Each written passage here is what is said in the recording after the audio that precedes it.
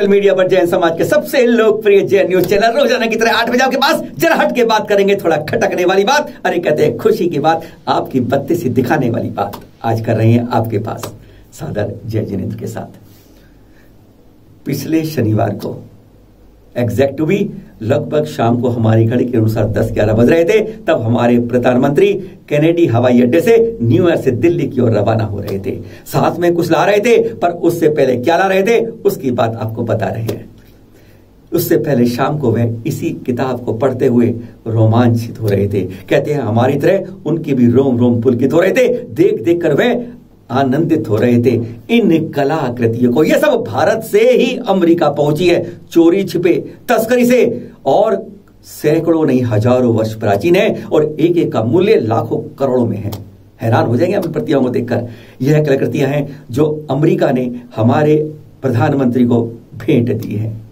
एक हमारी आपस में ट्रीटी है, जिसके अनुसार विभिन्न देशों में जो कलाकृतियाँ हैं, एक दूसरे को वापस करी जाती हैं। इसी तरह की ट्रीटी हमारी ऑस्ट्रेलिया से है, जो ब्रिस्बेन से कुछ समय पहले भी हमें कुछ मिली थी। पर इतनी ज़्यादा, जी हाँ, एक कलाकृति और पुरावशेष अब मिले हैं, जो अब तक की वापसी में सबसे ज़्यादा है। और इसके अंदर इकहत्तर तो कलाकृति हैं, विभिन्न भगवानों की, मुद्राओं की और इस तरह की। और साथ में पुरावशेष, यानी पुरातत्व के जो अवशेष थे होते हैं, जो हज़ारों वर्ष प्राचीन होते हैं, ऐसे छियासी हैं, जिनको लौटाया गया है।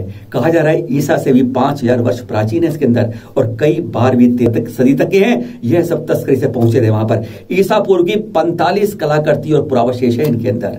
हिंदू धर्म से संबंधित साठ है।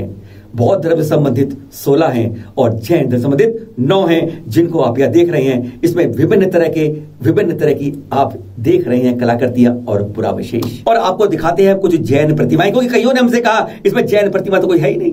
सारी जैन और के अलावा बौद्ध और हिंदू धर्म की हैं। इसलिए आप कुछ प्रतिमाएँ दिखाते हैं जो आपको रोमांचित कर जाती हैं, पुलकित कर जाती है। ये देख रहे हैं आप पहली प्रतिमा, और ऊपर 21 छोटी छोटी प्रतिमाएँ हैं।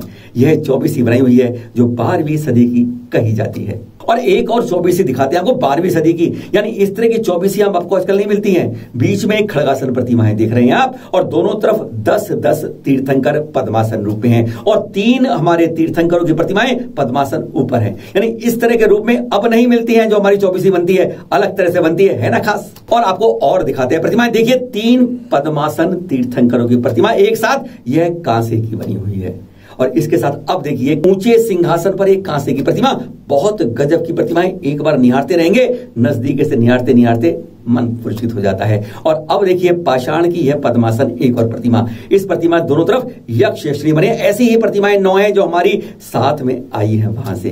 करोड़ों में बोले कि, अब ये हमारे म्यूज़ियम में सजे लग जाएँगी।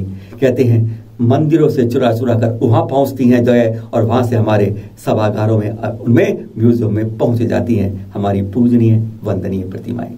फिर मिलेंगे नई रोचक जानकारी कल फिर आपके साथ रोज़ाना की तरह आठ बजे करेंगे आपके साथ सादर जय जिनी।